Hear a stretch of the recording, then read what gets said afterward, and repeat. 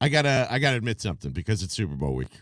Well, one, I want to tell a real fun story because I think I don't think too many people know. Yeah. Uh, I I'm ready to retire the Super Bowl celebrations and anniversaries. I'm officially like sick and done uh, with it. Like I know I was trying to get to the five year mark. I don't even want to celebrate five years.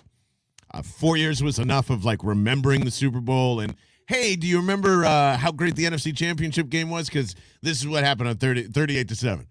Yes, yes, uh, yes, I have. Yeah, we get it. Now we're trying to win a, win another Super Bowl. Hey, do you remember uh, when they won the Super Bowl? Yeah, that was that was great. And now it's like, hey, do you also remember Jason Kelce's speech? Like four days later, it's all these anniversaries in February that goes on and on. And I'm I'm tired of it. I'm tired of re-celebrating the Super Bowl already. Does that does that make me a bad fan? No. No, it I'm doesn't. so done with it. No, because it's everywhere. You know what I mean? You follow all these Eagles people, and so everybody's just like, "Oh yeah, this is the time. Let's go. I got to get those likes and retweets." You know what I mean? So it's just you, you lay it on super thick all the time, and yeah, I I get tired of it. This is the first time, as you've talked about, I was like, "Am I going to mute the word Super Bowl?" I Am think I gonna, am. Am I going to do that? Like, I I don't know if I have the heart to actually do it. Just but mute Philly special. yeah, that too. That too. Like I know it was and it was. It's one of the greatest plays ever called in a Super Bowl, especially when you put situation in context with it. Mhm. I don't care anymore.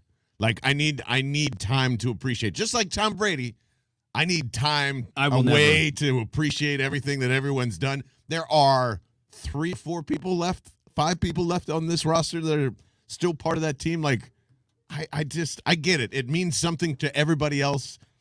Uh, our good friend got married in the street from the Super Bowl, so I get it. Yep. But like, I don't know. T, I'm It's- it's- I, am done. I'm done celebrating the Super Bowl. It's like whatever Drake song was really popular at the time. You're like you've been playing it since 2018. It's like I we like I get it.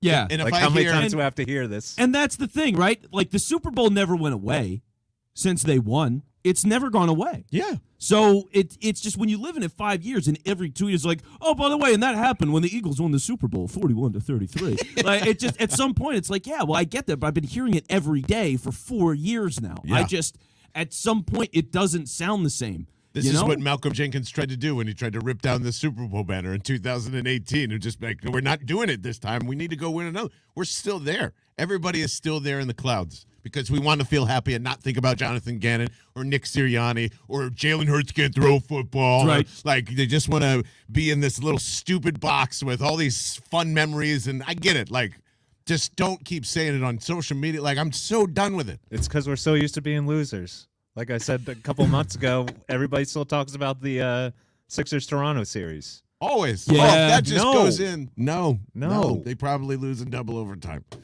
Or whatever it is. I don't I don't know. Like Too many too many what ifs and then reminiscing in this case. Yeah. Like Yeah. And if I hear, hold up, wait a minute, you thought I was finished. I'm done with that too. You ban Meek Mill? I'm not banning Meek Mill. I'm banning that song. yeah, dreams and nightmares. No more dreams and nightmares either. Like it was all a that great- song's like eight years old too, by Yes. the way. So it was old when we were using it as an anthem.